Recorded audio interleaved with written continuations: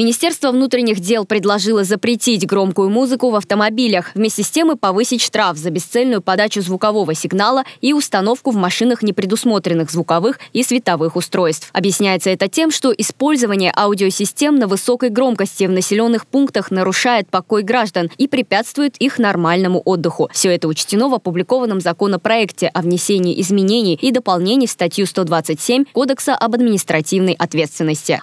А именно документом предлагается изменить часть первую данной статьи, дополнив ее запретом на использование в населенных пунктах магнитофонов автомобилей и других аудиоустройств на высокой громкости. В действующем законодательстве штраф за нарушение части первой статьи 127 Кодекса об административной ответственности составляет одну базовую расчетную величину в 223 тысячи суммов. Министерство же предлагает увеличить размер штрафа до трех базовых расчетных величин, то есть до 669 тысяч суммов. Очень громко громко нельзя. А какой звук не будет являться громким? Ссылаясь на рекомендации Всемирной организации здравоохранения, МВД отмечает, что громкость звука в салоне автомобиля не должна превышать 85 дБ. На такой громкости слышать звук можно не более 8 часов. Если громкость составляет 90 дБ, то допустимое время прослушивания сокращается до 2,5 часов. 95 дБ – 47 минут, 100 дБ – 15 минут, 105 дБ – 4 минуты, 115 дБ – 28 секунд и 120 дБ дБ 9 секунд. Превышение этого времени может нанести вред здоровью и привести к глухоте, говорится в документе. Согласно данным МВД, в 2018 году за нарушение, предусмотренное частью первой указанной статьи, к ответственности было привлечено 6466 человек. В 2019 году 9911, а за первые 8 месяцев 2020 года